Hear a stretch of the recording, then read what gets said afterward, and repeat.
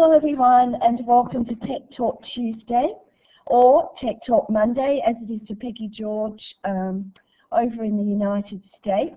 I'm Anne Mirtschin and I'm the moderator of Tech Talk Tuesday. Several, I teach in a small rural school in country western Victoria. I teach ICT from year 4 right through to year 12 and I think it was about 12 months ago, all I heard my students talking about was Minecraft. And that sort of piqued my interest. And then I started to see people talking about it on Twitter. I joined a games MOOC uh, so that I can learn a lot more about using games in learning. I had an elective for the last six months of last year called Gamification of Learning. So I've experimented with a little bit. Stephen has been extremely helpful to me and I'm really looking forward to working with him further on this game that really has the kids thoroughly engaged. So a big warm welcome to Stephen. So we'll give you a virtual round of applause. Thank you for taking the time to present to us today. And I'm going to let Stephen, no maybe Peggy, you're next on the list. If you have a microphone, we'll just very quickly introduce ourselves, what our interest is in learning, and Amy, if you might just type in the chat, if you don't have a microphone available, where are you from and what's your interest in education. So Peggy, over to you, then Stephen, and then Karen if she's got a mic. Thank you. Well, I'm happy to introduce myself. My name is Peggy George, and I am actually a retired elementary school principal um, and a, a university pre-service instructor. And since my retirement, I have been actively involved in lots of online communities and social media, social networking, um, helping teachers learn to use technology in their classrooms. And I had a wonderful day today. I got to go to a classroom and teach some fifth graders about how to use LiveBinders. And the exciting thing is that these fifth graders are learning so that they can teach their teachers how to use LiveBinders. So it's been a great day.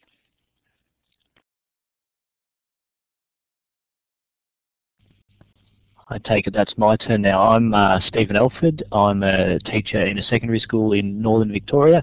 Oh, excuse me, in Northern Victoria. Um, I teach mainly maths and science, uh, up to senior biology. Um, I've been playing around with Minecraft in the classroom for about 18 months now, um, and playing Minecraft itself for probably over three years. Um, that's pretty much it, unless anyone's got any questions. Amy.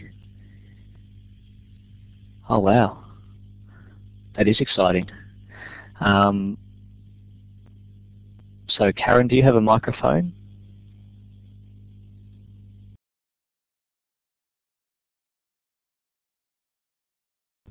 That's all right. I'll keep talking then.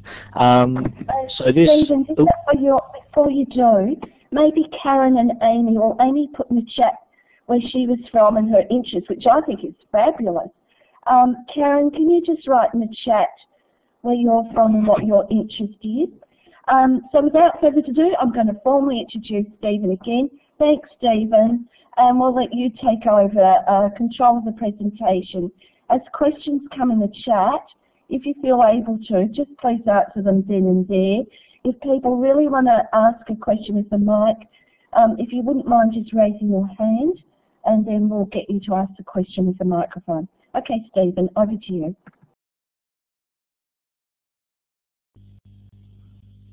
Okay, do we want to keep video going for a little while? Has everyone got good enough internet for that? Um, otherwise, I can get rid of it if you would like. Stephen, I think we might drop it because once you start app sharing, we're going to be pulling on big bandwidth. So much as yep. we'd love to see you, um, we might just leave it for now. Thanks. Yep, no worries.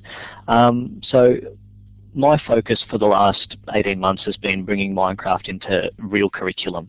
Um, so I, I, I, don't just play Minecraft. A lot of a lot of teachers that I, I speak to globally actually use Minecraft as a play.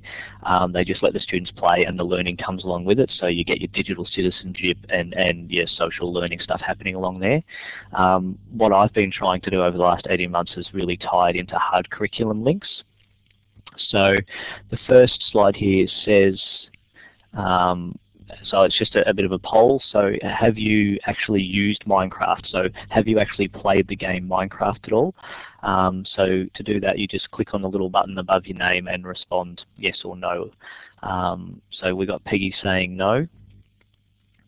Um, Karen says no and Amy's lost sound, so that's okay. Um, and a little bit, okay, awesome. So I know Anne has because we've been talking about collaborating on a server. So that's awesome, thank you for that. So a bit of a background on what Minecraft does for me in a classroom. Um, oh, thanks Anne. Um, I've found that students want to do this. No matter what I set task-wise in that in, in this game, students want to do it. And I've set tasks that are serious learning, and the students have stayed focused on them more than I've ever seen students stay focused before in, in, my, in my teaching career of 10 or so years. So I had students working solidly for an hour and a half. These are year 8 students sorry, no, year seven students last year working solidly for an hour and a half that I never would have got out of them in a in a standard formal classroom. Um, and it, it is playful learning. Um, I, I, find that the students really enjoy it and it is fun to do and it's a great opportunity to do modeling in 3D which is something new I'm heading into now and, and using the, the things that we create in Minecraft and printing them in real life.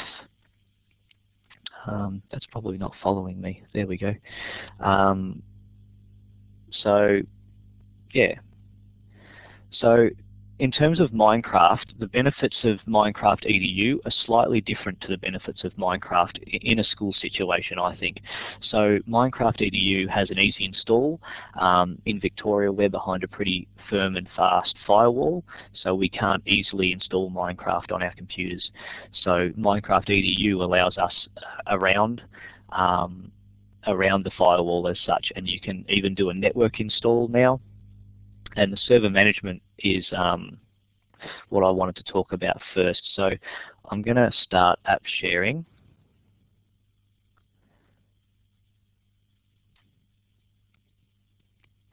So this here is a remote desktop connection to my um, Minecraft server machine. Um, so this shows you the server tool.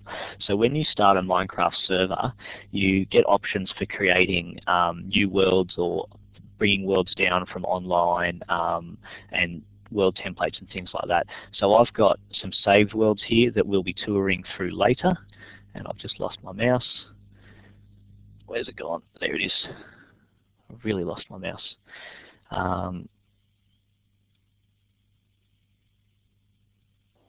Otherwise, so oh, you just stop the app share and come in again. Are you right? Have no, I've got, I've, yeah, I've got it back now, I think. Oh, no, I do lose it. Okay, yeah, I'm going to have to stop the app share. Peggy is the Mac expert, so you're lucky we've got Peggy here in case things do go a bit awry. Um, let's start that again. There we go. So if I click it, there we go. So yeah, we've got a tutorial world that's included with Minecraft EDU that runs the kids, or I shouldn't call them kids, runs the students, or teachers for that matter, through how to actually navigate the game, so how to move, how to build, um, and all that sort of stuff. So what I might do is I might start up one world. So starting a world is as simple as a click of a button, basically. So even if you want to create a new world, I hope this is updating quick enough. You can have all of these options for generating worlds and then that world starts with the click of a button. So if I start my animal cell map, so we hit go and and and and after a little bit of time because it is quite a big map hopefully the server will be up and running and you've got a question Yes, Stephen, sorry, I was checking the chat. Did you tell us where we go to be able to download this software or how do other people um, get to get it onto their server? Is there a cost involved, etc.? Um, I haven't said that yet. I was going to say that later. Um, but yes, there is a cost to this software. It's for the actual software itself. It's $41, and that's it. So that allows you to run one server for up to 100 people, um, or 100 students at the one time. So what that gives you is access to all of the Minecraft Edu features for $41 upfront, which I think is an absolute steal and I keep telling them that. So um, it's just amazing. So minecraftedu.com is where you go to find that, and there is um, that is written down on a, on a later slide. Um, so this is one of the great things about the Minecraft Edu package is you get this server tool where you can manage things in the game. So you can turn on students are able to build. You can turn off night. You can set up the world and really tweak the world to the way you want it to be. Um, and you can do all of that um, on the fly. So you can change it if you want one lesson to be um, you know, where students don't have to fight monsters and don't have to worry about it getting dark, and you can do that. And the next lesson, you can turn it all back on. So, so it's a really flexible um, system like that. Uh, I think that was it from the server side of things. So if we stop that, go back to the whiteboard. Um, so the student names is something that you can't actually get with a, a normal Minecraft install, um, because well, at least in Victoria, I should say, because of the proxy setup and the firewall setup, we can't actually authenticate to Minecraft and get proper names. So this allows us to have names carry through and the student's equipment carries through and where they are in the world carries through and everything as well, which we couldn't actually have in, in the Victorian system um, within the school. Um, the teacher menu in-game, I'll show you that later when we're touring um, some of my maps and it also has control blocks as an add-on to normal Minecraft so you can control where students can go, where they can build, where they can't build and, and things like that. Um, the other one thing that I think is a really good, I should be using my pointer, um, a really good um, thing to have is, is that edu on the end of Minecraft allows you to create a really clear distinction between playing Minecraft and learning with Minecraft EDU and my kids uh, my students really get that so they understand that when we use Minecraft EDU in the classroom we're using it to, to do some real serious learning rather than just playing a game um, and they don't seem to mind that at all. Any questions about any of that stuff or any clarification anyone would like? Stephen, while people are thinking about that, Peggy asked, can students download Minecraft EDU at home? Um, not yet. Um, there is the the there is a premium edition, but I don't think it's officially for sale yet, um, and that costs I think seven US dollars um, for the license for that, and that gets you all of the same package except for it, instead of running a server of up to 100 you can run a server of up to 10 um, so there's only that restriction on it and it only costs $7 so in the future if I want students to be able to access my servers and, and, and that sort of stuff from home or from their personal computers I would be buying or, or getting them to buy the, the premium version of Minecraft EDU so that they could do so.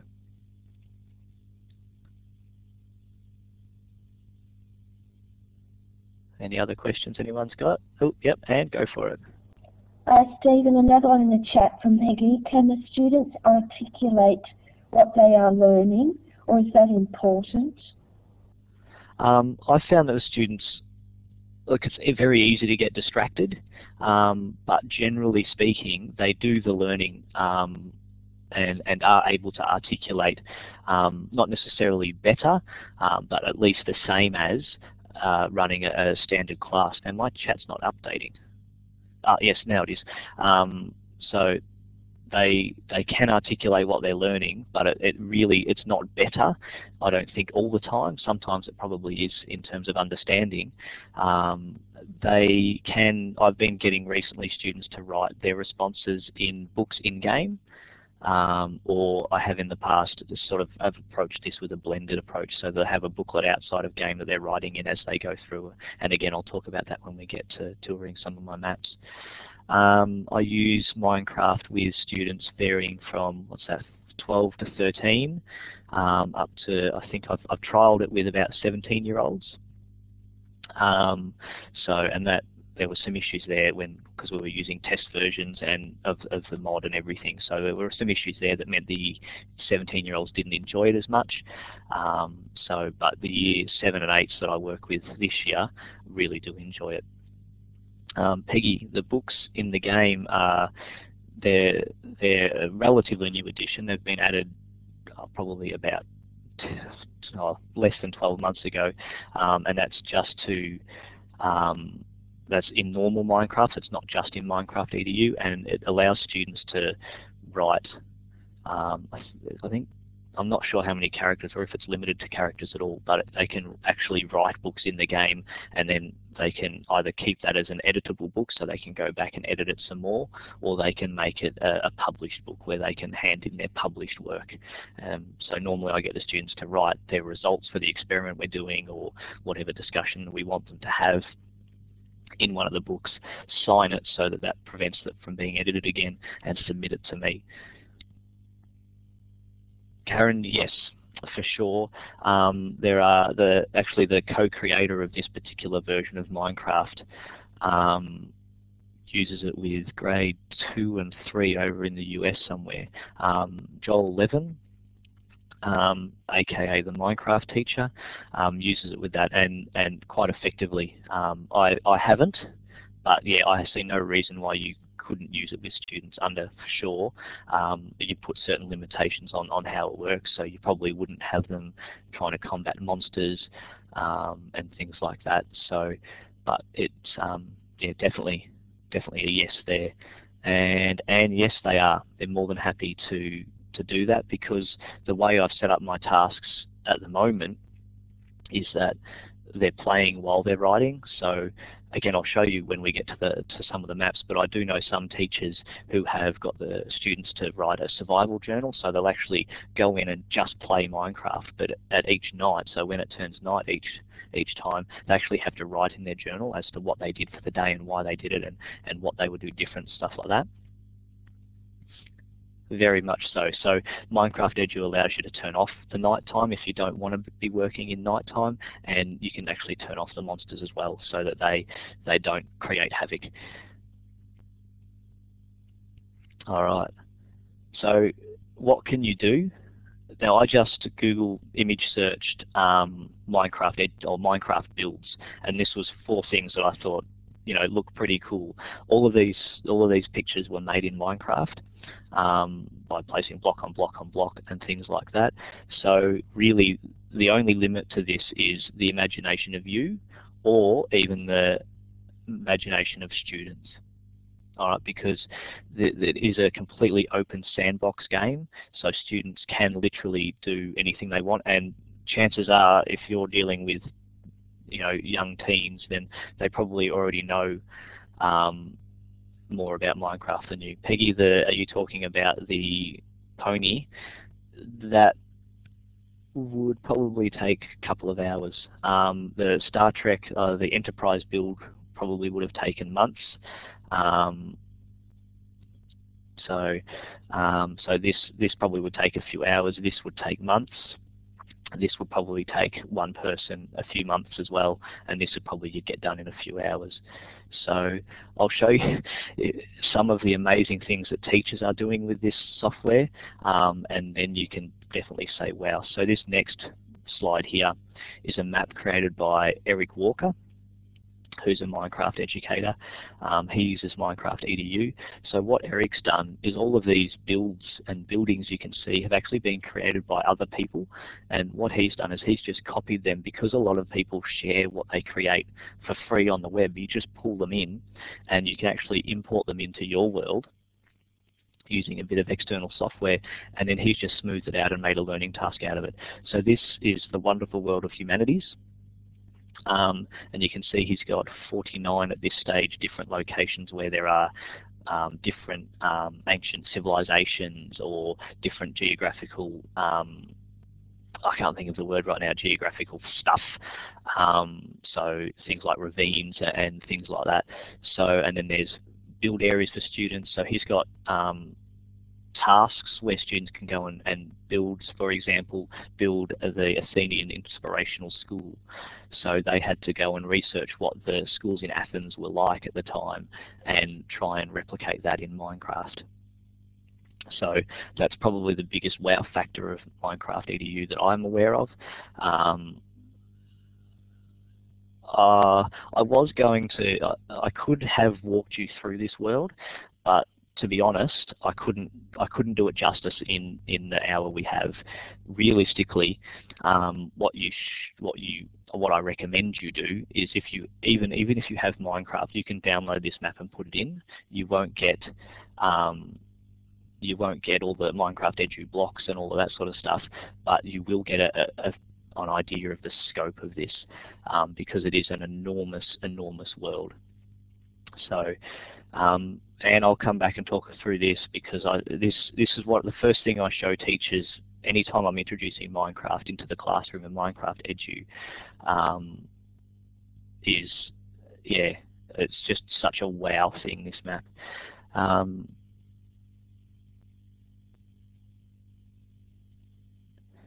Peggy, I, I think it's different to, to Second Life. Um, and Justin, how much of the value is motivation for students? A lot of the value for Minecraft comes from motivation. They want to be in the world, they want to be doing stuff. So if they want to build the, that school I was mentioning, then they need to go and research it. Again, I haven't used this world. This is just a world that I, I know of, and and it is an amazing world that I thought I would share. Um, but in, in my experience, the students um, are more than happy to go and do a bit of research to build an accurate representation of a Mayan temple or an accurate representation of a um, of an Egyptian pyramid or the Sphinx or something like that. So in the past, I haven't had issues with saying to the saying to the students, okay, go and do that and come back. Um, it's not how I use it in my classroom. Um, myself, I tend to do a bit more focused tasks on what I have the students, and what I want the students to do, or they've already got the information they need um, to do the building I want them to do or whatnot. But yeah, it's just this. This is the sort of scope you're looking at, or that you can get if you're willing to put in the time. Um, so it's just yeah one of the one of the biggest wow factors of of Minecraft EDU. All right.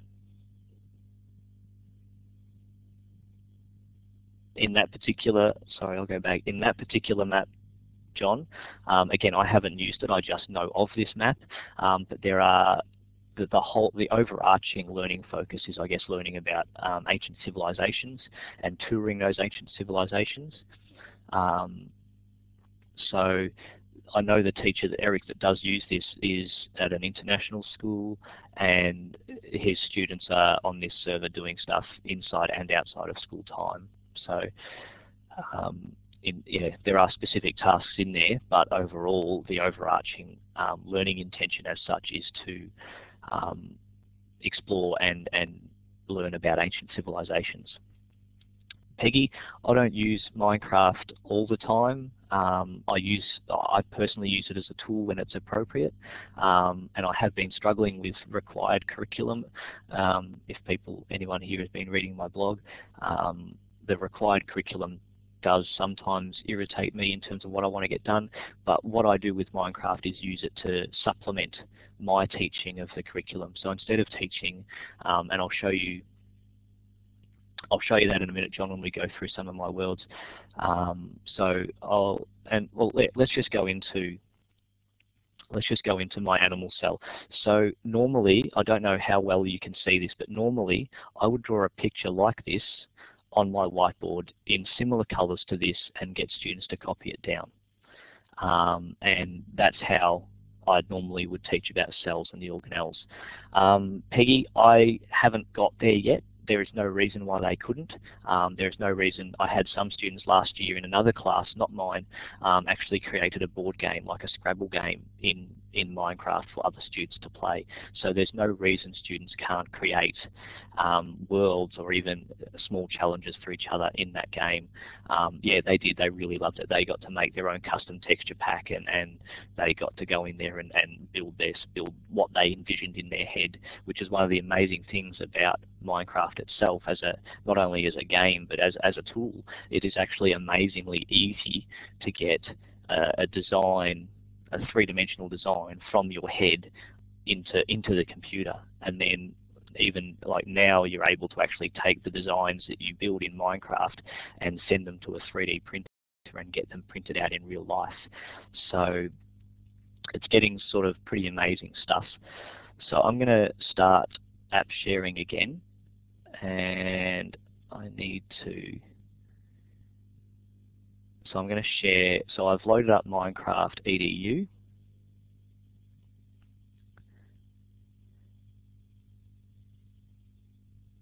so is that Peggy you asking a question there? If you are yes you can. I've had students who haven't played games before and they have um, learned how to navigate the game. They will never be awesome epic builders but with practice of course they would. But I think seriously yes it is it is as far as a 3D design tool goes it's probably the easiest 3D design tool you can get a hold of if that makes sense. So I'm assuming you guys are now seeing my Minecraft EDU screen. So what this allows you to do is you can have uh, any name you want. So um, I personally am always Elfie, um, and then we go into a multiplayer world, and then we join my animal cell server. So I'm going to join as a teacher. So you can see there are two ways you can join. You can join as a student. I should slow down to make sure it's updating in time, or you can join as a teacher. So if I join as a teacher, it gives me options um, that students don't have, like access to the teacher menu and things like that. So depending on how quick your video is updating, you might have seen that this looked different when I first logged in. And that's because um, it's the server has actually got what's called a custom texture pack. So it looks it looks every it makes everything look different. So in here at the moment, so this actually is a Minecraft world. It doesn't look anything like a Minecraft world though. So I should so, oh.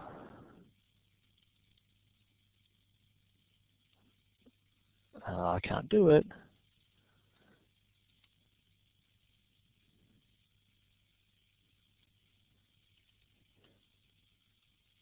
Technical issues.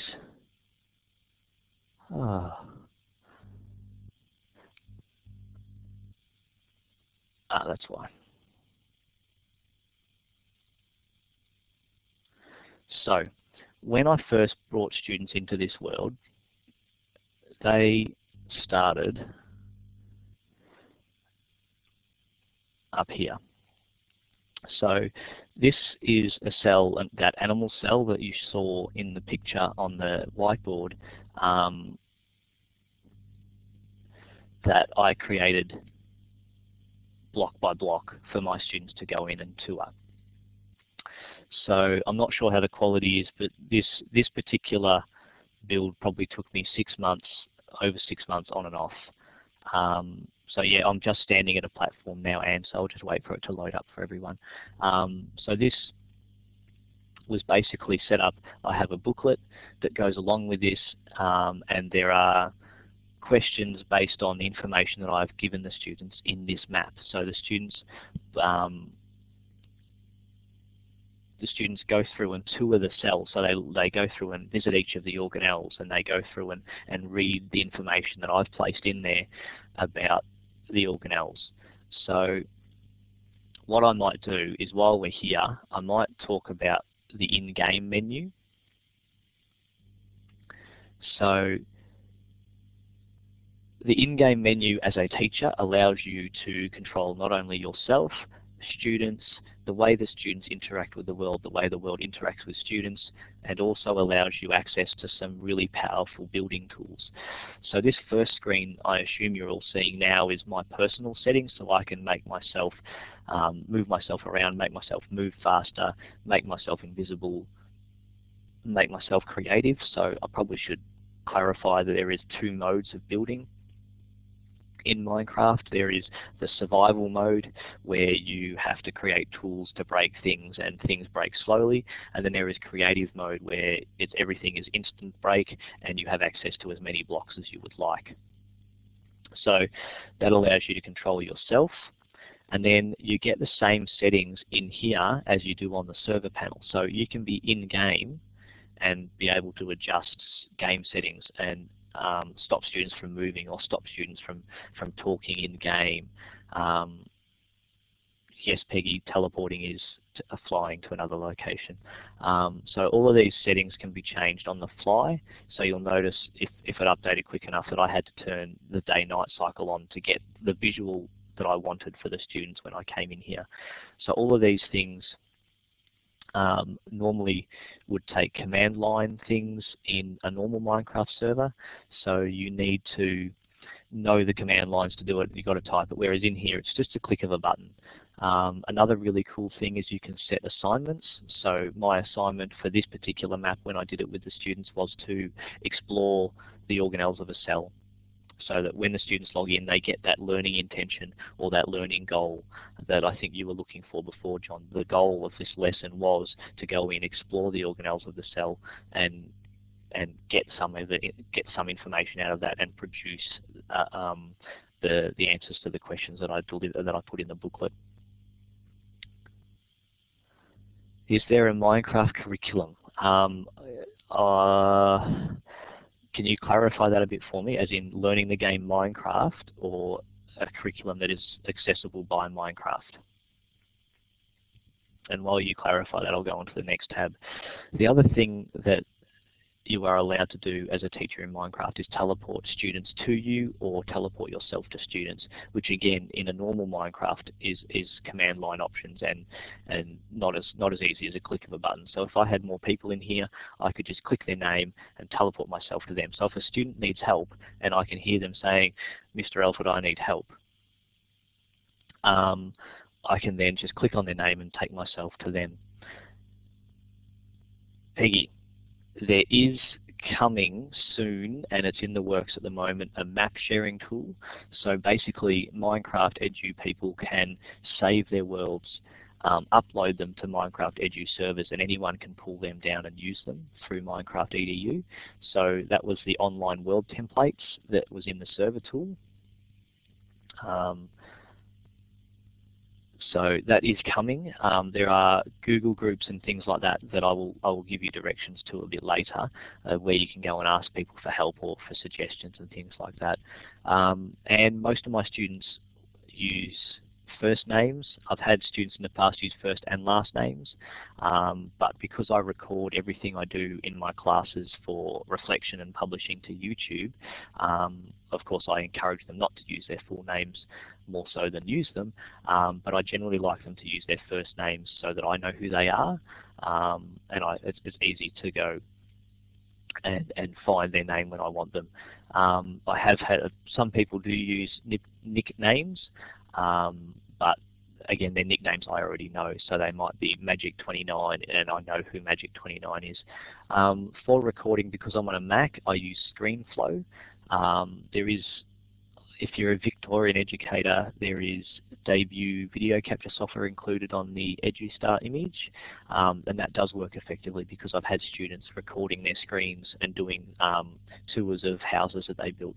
Um, so the debut video capture, um, I'm not sure of free software out there for video recording. I know Jing will allow you to do five minutes, but I'm not sure of the quality um, for screencasting. And then there's screencast.com as well, I think. But again, I think that's limited to five minutes or so. So, I oh, Snagit, that's the new one, yeah. So yes, for me on a Mac ScreenFlow, from what I hear just generally on, on people I talk to via YouTube and things like that. If you're on Windows, Fraps, F-R-A-P-S, I'll put it in the chat, is the way to go. Um, but again, I'm pretty sure that's paid software, and I haven't actually used that. So, oh, there you go. Peggy's giving us a heap of screencast tools. Awesome. Thanks, Peggy. Um, so as well as teleporting, um, you can teleport to specific locations. So one of the blocks included as an add-on to Minecraft EDU is a teleport block, so or a teleport station block, so that you can teleport to these stations. So for example, if I click on this in this button here called Golgi, I will go moving to a new location. If you guys can't see that, it comes up and says moving to a new location, and all of a sudden I am teleported into the cell, and I'm standing here looking at a Golgi apparatus right in front of me. So then I would get the students with their booklet, they would come and, and click on this and they get the information that I put in there. So this, what you're looking at now is another add-on block. Um, this is a um, information block, so this can have unlimited amounts of text in it. So you can just add more and more pages. So I only used a shorter amount of text, um, but the whole idea here was to, I mean, this is how this is what I stressed to the students. This is how I see a cell in my head. Um, so they might they might end up imagining a cell different to me, but this is how I see a cell in my head, um, down to the colours and everything. I, I, don't know why, but mitochondria have always been orange for me. Um, so um, yeah, any other questions about this? Because I would like to show you some of the other um, curriculum applications I've used for this. What is a cell? This is an animal cell, so it's the basic unit of life. Um, so these are inside you as, as such, Peggy.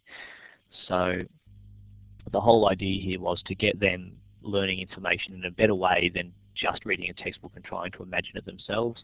So I've customized the texture pack and made it look the way I want it to look and then built the cell um, from the ground up um, based on a, a, an idea of what's in my head.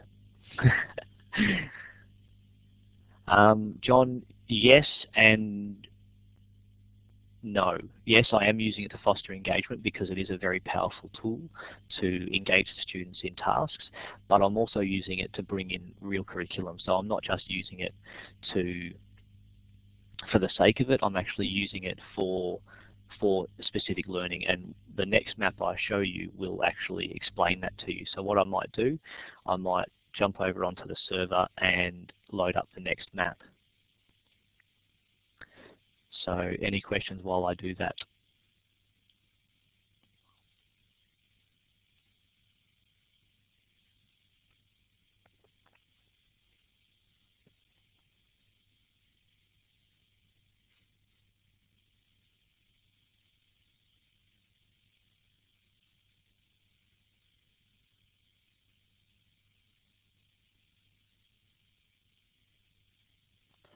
Sorry, I'm being very quiet. I'm just waiting for the server to start up.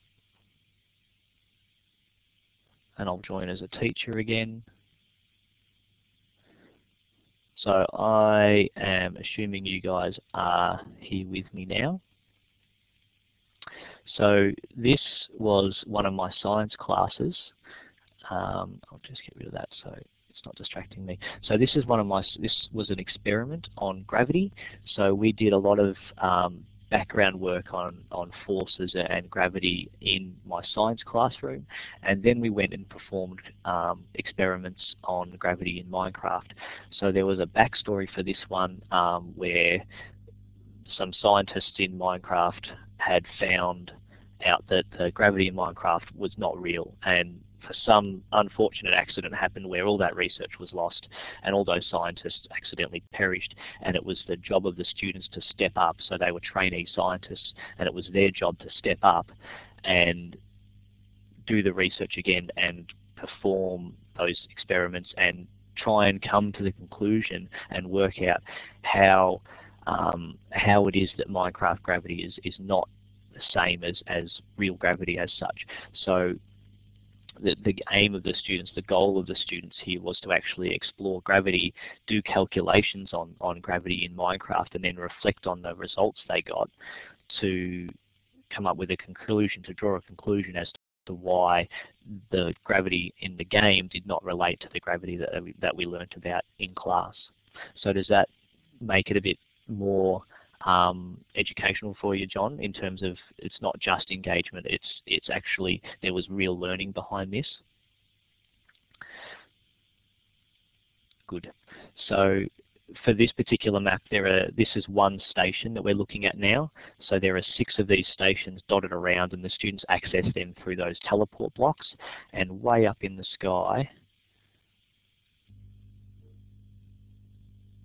I make myself creative.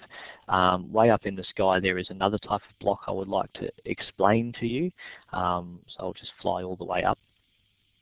So up here I put it way up in the sky so it didn't interfere with the immersion of the students as such because I want them to be, um, it was a role play so it was their job to be the scientist and um, do, do the experiment. So for this, this is a border block so you can see um, this encloses the test station. So what it means is that students, once they go in, inside this square, um, that you can see here, they actually can't get out. So they can't run away and get too distracted from the task at hand. They need to stay within this square boundary and do those tests for me.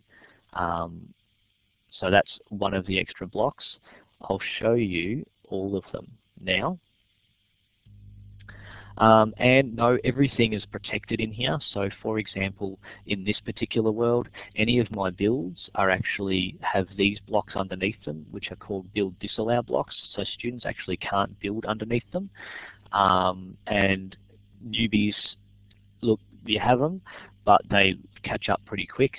Um, I think the, the generation of students I'm teaching now pick up the WASD and mouse much quicker than I ever did. Um, and so they pick it up pretty pretty quick on how to move and the tutorial world included with Minecraft Edu was amazing for teaching students how to navigate the world and, and use the tools available to them in the world. Um, no, you can do that for them. So you can add these build disallow blocks underneath their building once they're finished, but then they wouldn't be able to change it. So there's build disallow blocks, there's build allow blocks, there's those information blocks which you can write on, information signs which are just for drawing attention, there's these border blocks which we've just talked about, there's the spawn block, which allows you to actually set the, the, the, location where students come into the world. So the first time students log into the world, they appear on the block that you place, if you place it. Otherwise, they appear at what's called world spawn. Um, Ah, Karen, that's that's much longer than an hour. um, basically, and I'm gonna I'm gonna address this later. The, the way that these things come about is I play Minecraft. I have a really good understanding of the the game Minecraft. So when something comes up in my class that that fits or that I know I can make fit into the game Minecraft, I will spend however long it takes, like six months, creating a, a, a map that the students can use to do it. Um, this particular map probably took me eight to ten hours to create, um, but again, I can use it again and again and again because we always cover gravity with year 7 or year 8 um, for years to come and other teachers can actually pick it up from my school and use it and globally as well when, when we get that map sharing up. So as far as instructions for students, if you would like to see that, Karen, I will point you to my YouTube channel later. Um, so there are live video recordings of my classes from in-game um, there that show you what I do, how I do it, and, and the process that happens in my class. Peggy, um, what you're looking at here is a map. So the animal cell that you saw is a different map. So a map is like a, it's, it's really confusing because maps and worlds get used, the words map and world get in, used interchangeably um, in in Minecraft. A Minecraft world is sometimes called a map, um, but each world is is a separate map. Oh, I can't explain this properly. Am I making sense or am I completely confusing you now?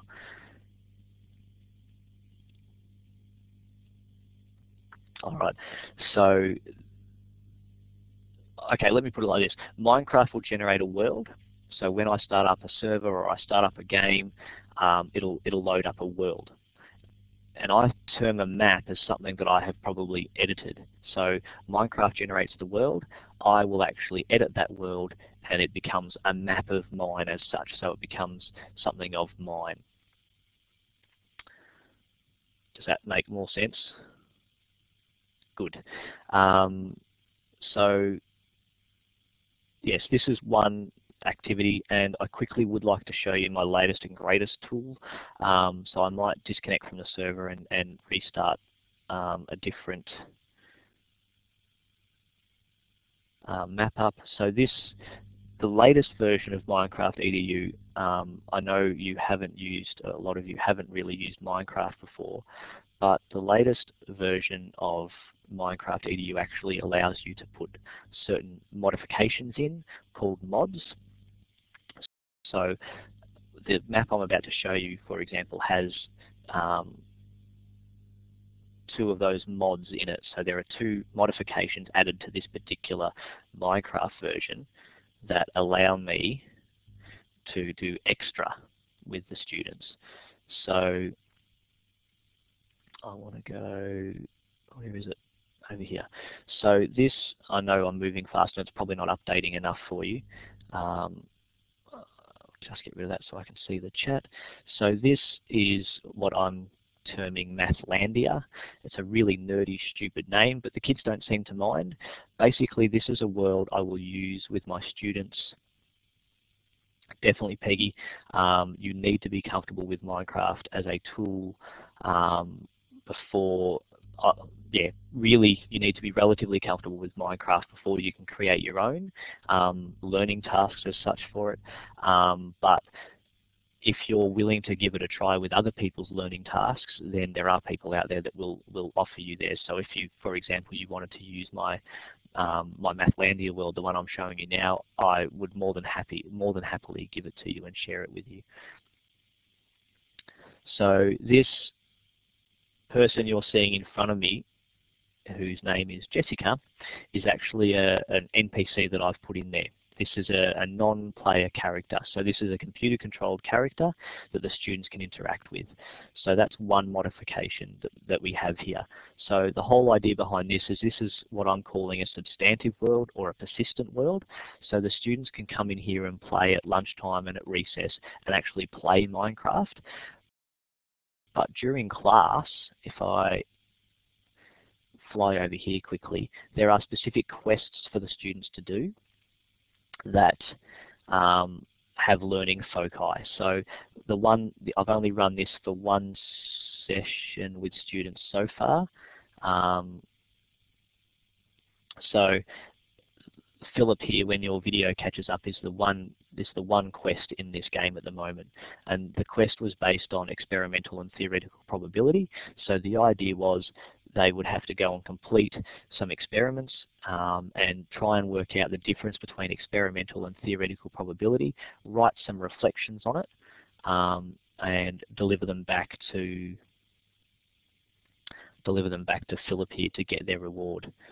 So yes, they do, and they do the experience with, within Minecraft. So this is an example of um, one student's results from what was like one test. So he did the gold station and these are the results he got. So what I'll do, I'll put that back so that we don't lose it and I'll go and show you the actual quest. So this little book here, I'll wait for your video to catch up. This little book here is um, a, mod called Mystcraft. So it allows me to have many different worlds, so without interfering with the world the students build in. So I can go and do um, quests and things in other worlds and not interfere with what the students are actually building. So if I go to this new world, the first thing you notice is it looks completely different. The sky is green and we're locked in this area here. We can't get anywhere else in here because this is the area I want them to do their experiments. So we've got more um, NPCs or, or, people that they can have a chat to and, and, interact with, just again to add to the immersion. Um, but the experiment was they had to, in their book, um, I'll just wait for that to catch up. So in their book, they had to press a button nine times. So for the light blue station here, they had to press a button nine times and record what dropped out each time. So if I press the button, you'll see a pig dropped, and I'm not sure if your video will keep up. Um, so Anne, um, the reason this is set up the way it is, there are 30 different stations. So if the students, and there are six six repeats of each station. So if students get in each other's way, um, they can actually just go and find another station. So yeah, basically click the button, another pig, they would write that down in their book. So for example, if I delete the text that's in this one, we're at the light blue station, so I expected the students to go light blue station. I can't write today. Test 1 was pig. Test 2 was also a pig. And then they would keep going until they did it nine times, and we got another pig. So we'd write test 3 pig. So what they would do is they would go around and they would complete um, five different tests. So there are five different colours um, of different tests that they had to do. And then once they'd done that and I had checked their notes so far, um, they had to throw it to me and so they would throw the book on the ground, I would pick it up and check it. Um, or they're normally pretty good at just doing what they need to do, or I can go around to their computers, they can open up their book and I can have a quick look through it. Um, so that's how I did that one. So once they did those five tests, they got to come up here to the upper platform, which is the mystery test. So this is where we start tying in the, the, the connection between theoretical and experimental probability. So up here, I should just let it sit. Um, do so no, I do that while they're in Minecraft. So it's it's mad. It is absolutely mad, but it's actually really enjoyable as well. Um, I have taken results, so for example the Gravity Lab one, I took their results and I compiled them because as, as part of the role play I was the head scientist or, or whatever it was, so it was my job to compile their results and, and then feed them back to the students. But I did it in class and again you can see in my video there's a video of this particular lesson up as well, um, how hectic it got. Um, I did cut out a lot of the bits where I wasn't at my computer and I was just standing still, but yeah, it's it's really it is a lot of fun. So up here, the the test doesn't have a they don't know the theoretical probability, so they have to do their experiment. Um, hang on a second, Karen. I'll just finish talking about this, and then I'll answer that. Um, so students did the experiment, they recorded their results, and then they put forth a, a, theory as to what the theoretical probability was. And it was then that they got their rewards. So the students not only get to play Minecraft while they're learning as such, or do a learning task in Minecraft, they actually also get, when they go back to Phillip, they actually get a reward. So they, for example, the first reward I gave them was a whole heap of torches, um, a whole heap of wood and a whole heap of stone so they could start building their houses, as well as a full set of armor and swords so that they could defend themselves. So the idea being that I can tie these rewards for doing the quests into what they need for when they're playing Minecraft.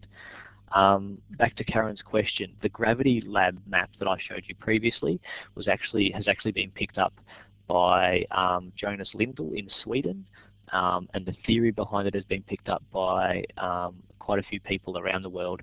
Um, but basically, yes, it has been um, picked up and shared um, and they were supposed to be writing um, responses to how it all worked and everything on a blog somewhere, but I haven't seen that yet because the school years don't line up between Australia and Sweden.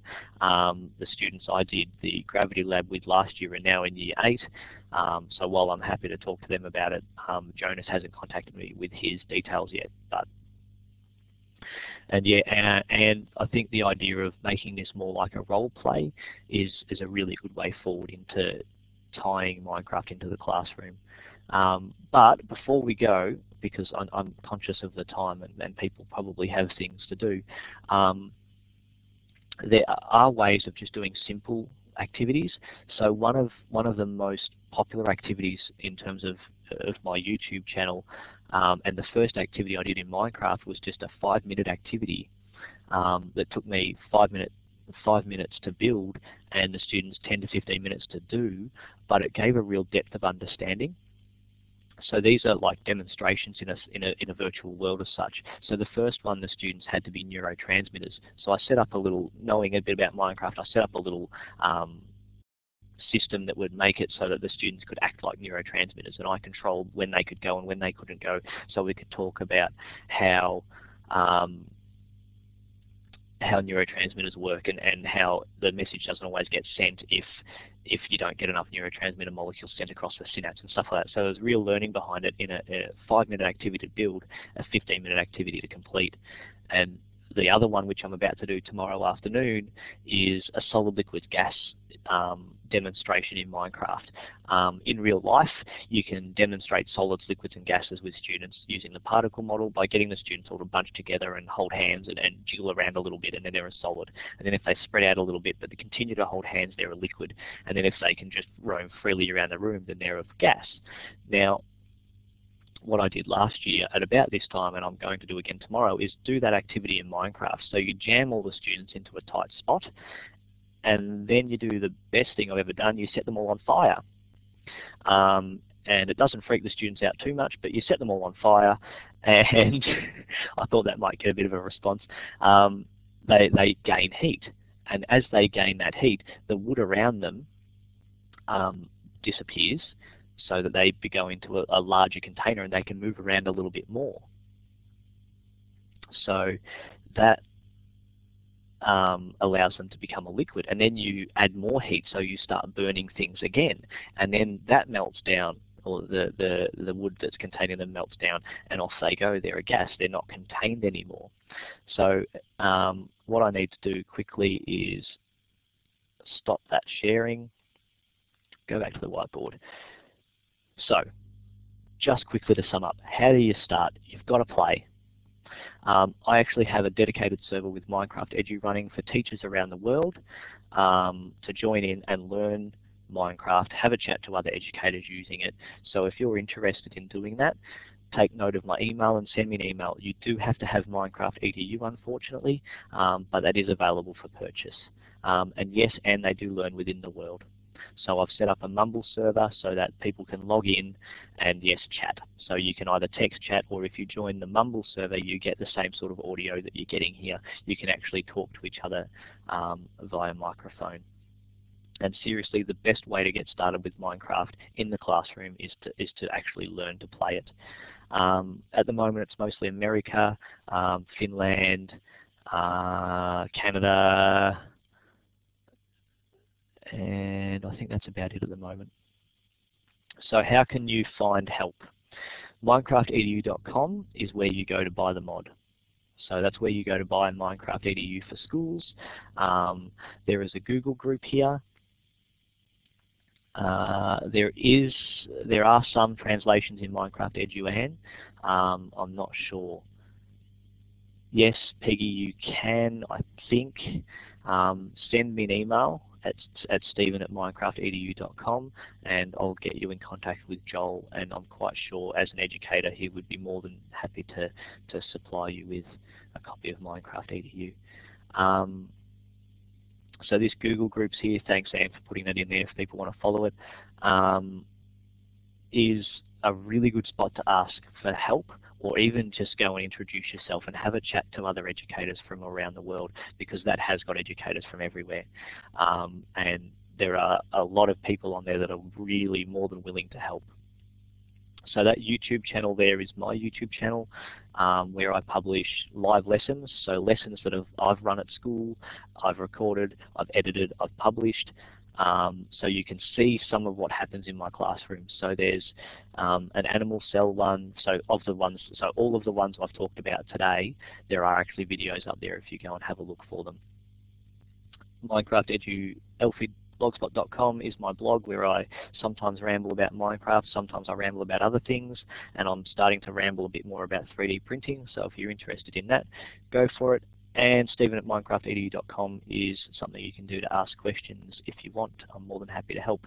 And and I will shut up now. Oh, Stephen, no, I think we can, I hope you will come back again because this has been really fascinating. But it's just Karen is from Pakistan, so YouTube is blocked in her country. Do you put any of those videos up on an alternative channel at all, Stephen? No, I haven't. I hadn't even contemplated the fact that YouTube wasn't available all around the world. So, um, what was it? Karen, email me and I will sort out how I can get those videos to you if you would like to see them. Yes, so there's TeacherTube. What about Vimeo, Karen? Which which um, video channels can you get in Pakistan? I know this is something we often forget that not everybody is privileged to access uh, the tools that we just take for granted. So Karen, you make sure you grab Stephen's email and get in contact. And maybe Karen could let you know which one she was really keen on looking at. Well, our time just sped along there, Stephen. So thank you so much. Let's give Stephen a, a clapping hand. Um, I think if you've had your students or seen them in Minecraft, it almost becomes addictive for them. But to be able to use Minecraft as the world or classroom in which they learn, Stephen, I think you've done some fantastic things to maths and science. I'm lucky. I teach technology, so sometimes I feel that I can justify them just playing. And they've learnt so much about citizenship and responsibility, sharing, mentoring. But to take it to that next step is just so good to see. Uh, just to let you all quickly know that in Victoria where I teach, we're about to have a two-week autumn break. So there'll be no Tech Talk Tuesday for the next two weeks. Uh, always looking for suggestions for term two and volunteers. So if you have any ideas or suggestions, I'd love to hear from you. And I Peggy, I know it seems like we just started back there. Amy, if you drop me your um, email address or if you send it to Stephen, I'll make sure that you get the recording link. So I don't know how you found out about this session. Okay, so I'll save the chat. So if you want to, please save the chat. So you go File, Save, Chat, and save it um, as text. Uh, it also, the recording links are going to go back onto these three websites. Uh, unfortunately, some of that sort of disappears with time because the next post sort of replaces it or goes above it. But if you want to make sure you get the recording links, please give me your email address and we'll make sure that you do get it. So Stephen, thank you again. I hope you'll come back and do another session with us next term. Yeah, Amy, I found it in the chat. So I hope I don't forget. This is my email in case uh, I do forget because sometimes we've got parent-teacher interviews, end of term is always busy. Um, Stephen, I hope you come back and do another one on Minecraft and maybe one on 3D printing because that one fascinates me as well. Anyway, thank you everybody. I'm going to stop the recording now. Hope you'll come along to another Tech Talk Tuesday soon. And if maybe Stephen will stay in the room for another five minutes if you've got questions or if you want to save the chat, please do that. So I'll put the timer on. This room will stay open for five minutes, then it will close. So thanks again, Stephen, and thank you everyone for coming.